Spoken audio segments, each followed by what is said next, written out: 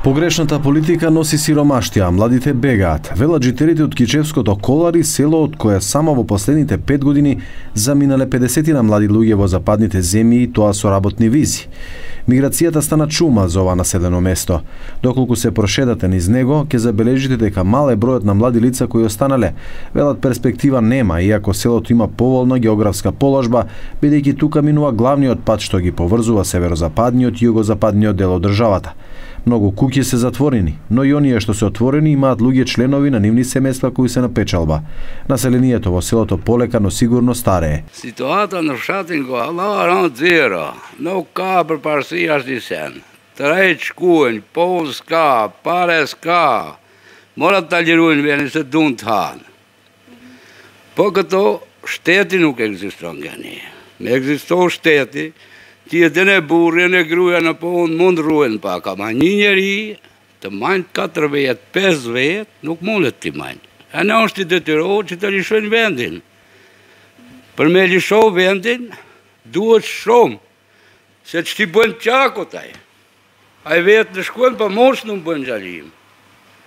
Ska, unë marë penzion socialë.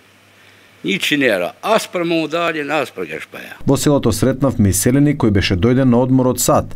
Ни кажа дека со семејството отишол таму пред 16 години од економски причини. Додава дека селото се менува од година во година поради големото иселување на младите. Секам пасом шатен тим për para 15 viteve, ka pas ma te për njës, ka pas ma te për rini, ka pas ma te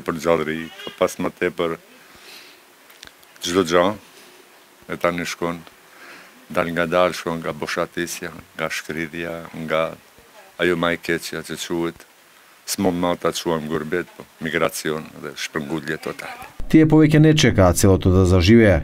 Со било кој да поразговарате, ќе ви каже дека сака да замине и никогаш да не се врати тука. Kjo situatë nuk ka zgjidhje se të rritë nuk këthejnë këto. Se jetën më të mire bujnë në Evropa, ta nuk vjen të bëjnë kollare. Se s'ka angolar, nuk ka ndryshim as i sen. Kurse për mu nuk ka për atri, nuk ka hëq. Rinin që i kam ljana që që i njën shtetë dhe bashkurat Amerikës. Ata mundon të ndërtojnë jetën atje.